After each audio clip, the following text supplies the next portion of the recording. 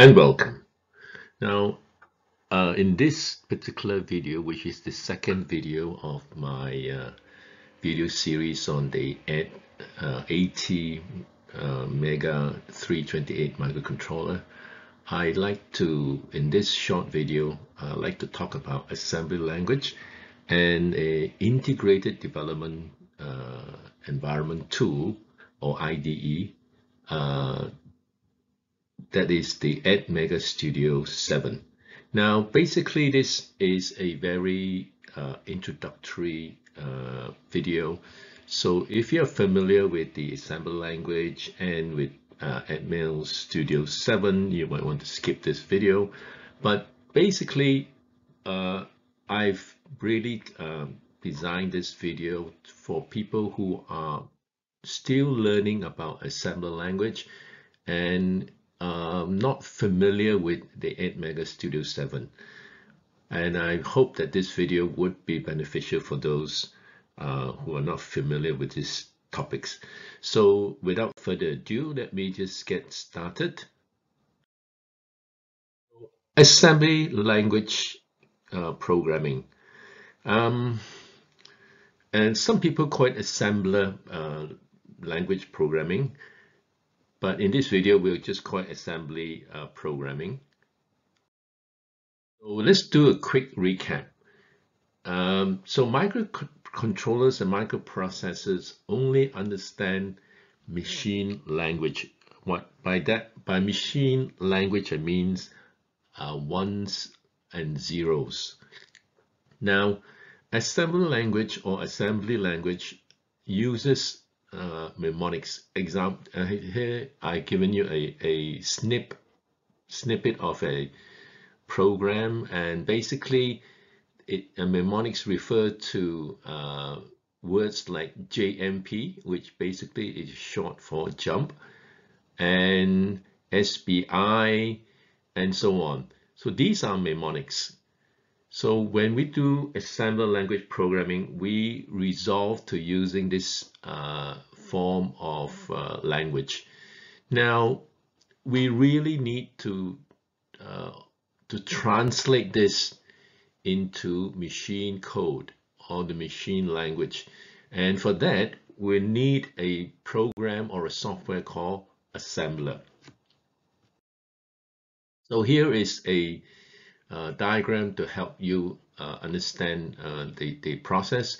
Basically, uh, you feed in your source code, which is in assembler or assembly uh, language. You feed it into the assembler, the, the program or the software, and this assembler will then translate this assembly language into its machine code equivalent. And this machine code uh, is what the microcontroller or microprocessor understands. Now, let's briefly look at the reasons for learning assembly language.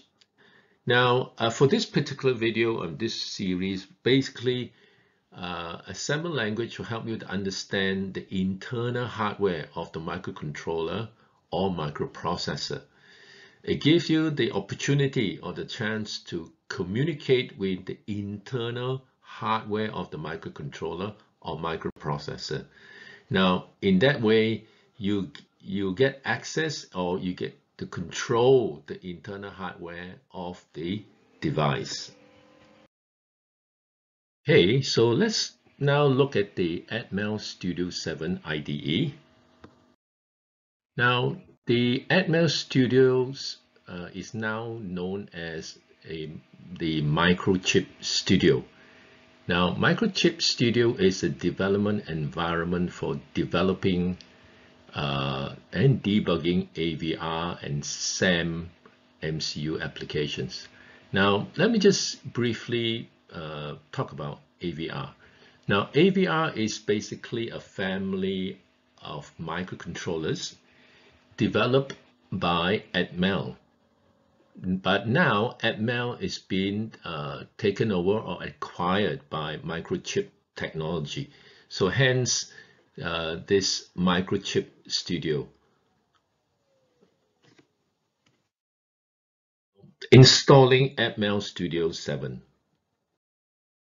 To install Atmel Studio 7, you need to download, well, obviously, Atmel Studio 7.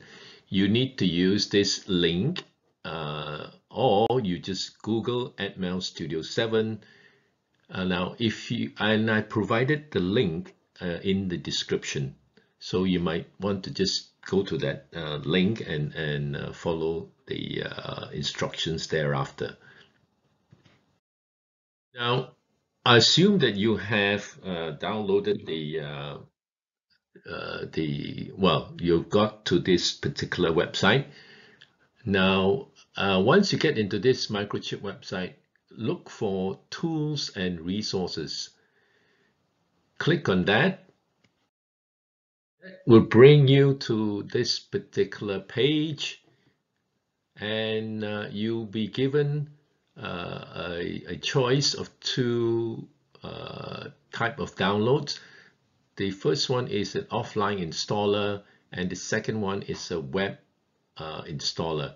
Now I uh, chose to uh, download the web installer. You may want to to prefer an offline installer that's up to you so make sure that you have a uh, folder prepared on your uh, computer for this download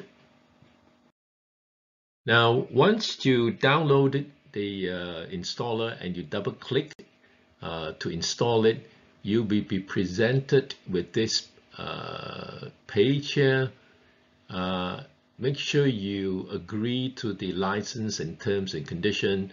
And the second one here the send anonymous information to help improve the user experience. Uh, that's entirely optional. You uh, you might want to opt to uncheck this one so once you've done that you you uh, click on next and you will be presented with this uh, option uh, here you'll be required to select the architecture that you want. There's three, there are three architecture uh, given. The first one is AVR, the second one is UC3, and the third one is the SAM option. Now, I only want the uh, AVR, so I've unchecked the, the last two. So it's entirely up to you uh, uh, if you wish to install all three but uh, I've chosen to uh, stick with the AVR. So click on next and you'll be presented with this uh, option here. Just leave it as it is. Click on next and the uh, there will be a, an, another uh, option here, menu, sorry, uh, presented. Just click on next and you will see the uh, notice for the release notes and uh, go for and then click on install and the installation will then start. Now this might take a little bit uh, of time but be patient. It will eventually finish and it will present a message uh, that says installation complete and it was uh, and the launch microchip studio option is there. Leave it checked and closed. Click on closed and the uh, Atmel sorry the microchip studio will then uh, be uh, started and you will see this particular logo and then eventually after a while you will see the page, the first, the uh, front part of the microchip studio. Okay. So that's it for this vid, uh, short video. As I have mentioned at the beginning of the video, uh, this is basically for those uh, what we call viewers who are not familiar with uh, assembly language and the Atmel Studio. Uh, so that's really uh, introduction for uh, the viewers who are beginners. Um, so in the next few videos, I'll be looking into details into assembly language programming for the ATmega 328 microcontrollers. So um, hope you will get the Atmel Studio ready because that's the uh, IDE tool that I'll be using. All right, until then, uh, thank you for watching and uh, see you in the next video. Bye.